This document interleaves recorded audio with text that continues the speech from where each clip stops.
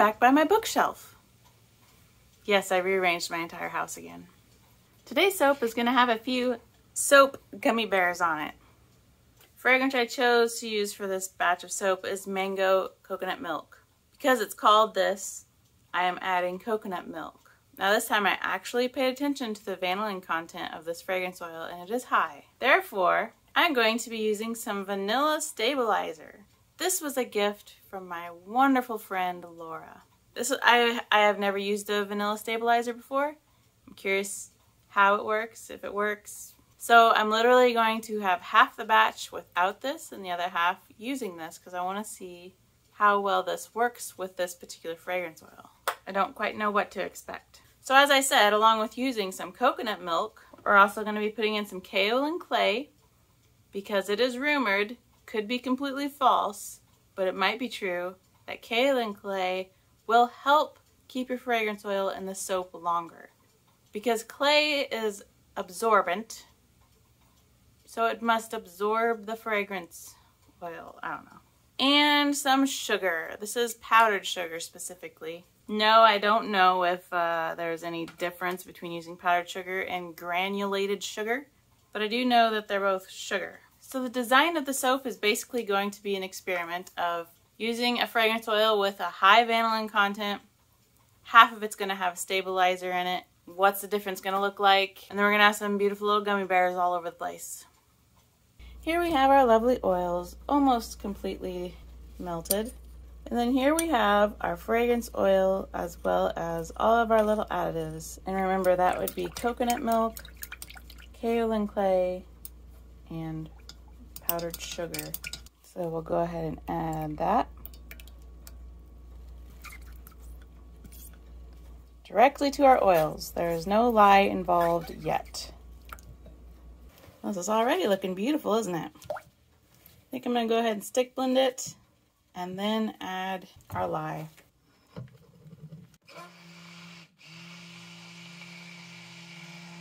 It's a wonderful fruity, kind of a, a sour fruit smell.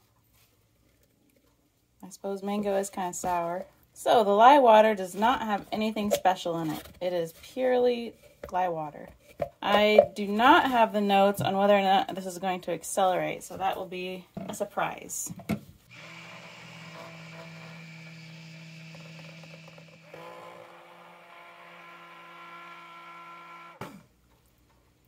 Alrighty, I think we're good there. It does look like it's accelerating a little bit. Hopefully it doesn't get dramatic on me. Pour part of it into here.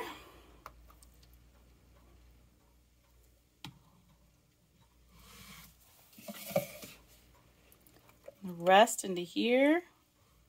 Well, I'm to hopefully make it kind of even. This fragrance oil kind of looks like it's separating.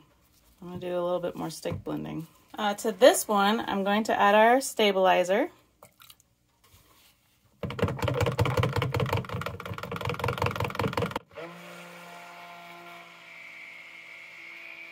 Definitely looks like it's separating.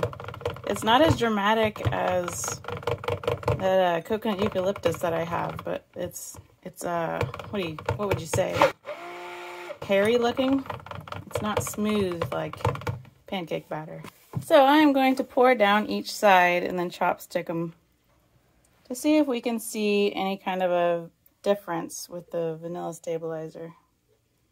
Well, it didn't accelerate too bad, even with all that blending. So now I'm doing this chopstick swirl because I want to see if we can swirl any differences in the, uh, you already know. I don't need to keep explaining it, do I? Looks nice and creamy now. Very pretty. I am going to be just loading it with gummy bears. And then when I cut it, I'm going to put gummy bears on the front. This is just going to be a gummy bear soap. So let's load it. Not in any particular way either. Kind of messily, the way that gummy bears fall. I'm going to try to fit quite a few in here too. I already uh, took out the ones that I thought looked the best. Some of these look a little special. And uh, the ones that are not special and very plain and normal and expected looking, those are the ones I have removed. Those are the ones that are going to go in the front. By the way, these little gummy bears are actually made out of the melt and pour from my gemstone soap because I had some gems left over. And I decided I didn't really want to make another gemstone soap, so I'm just going to melt these little gemstones and turn them into gummy bears. And that's what I did. The reason why I chose to put the ones that were not quite uh, perfectly molded on top because these are the ones that are going to get cut, and so it's okay. And I suppose we're done here. I don't know how many more I can fit, so see you for the cut. The next day, you can't really see much discoloration. A little bit right there, a little bit right there. That might just be from the way that I stirred it. Maybe the, I don't know, we'll see. We're going to open it and find out what's going on. Also, once I cut this, because if there is any discoloration, it doesn't usually show up until it's been exposed to the air for a while. I'm going to wait a little bit and uh, let it do its thing, I guess. Oh, look at there. Yeah. Wow, isn't that neat? That Vanillin stabilizer really does something. So here we got this side. Cool. Look at that. Isn't that something? Who would have thought? Well, I'm sure a lot of people would have thought because a lot of people already knew that that stuff worked. Thank you, Laura. By the way, Laura's YouTube channel is Cabbage Patch Soaps. So if you ever want to check her out, she's been doing a lot of live streams lately, which is really, really cool. So this is what I expected on the inside was no color change. You can kind of see the swirl in there, but it's going to change. So I'm gonna, before I, whoa, before I do my, my outro, uh, I'm gonna let this go ahead and change. Also, I need to attach my little gummy bears that are gonna be on it. So here's our first full bar. You can see our swirl. It looks like a ghost swirl right now. Which is also cool, but it's not going to stay that way.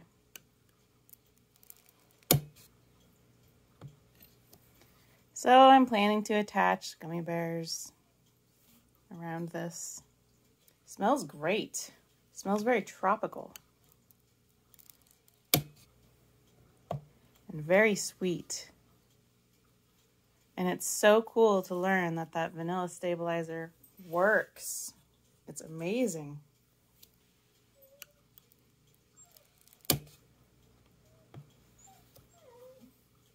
Really cool.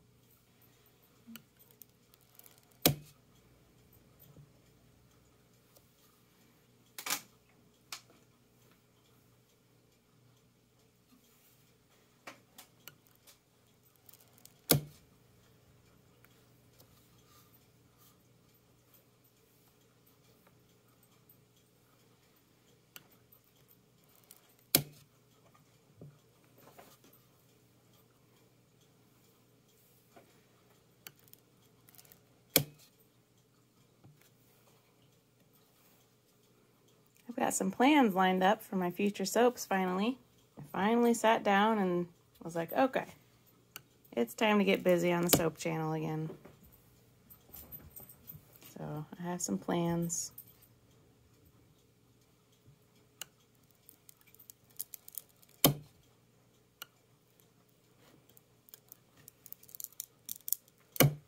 Cutting those in half for samples. So then I'm going to cut these in half sample size. So I take one of these slices and slice these in half, and these will be the sample bar.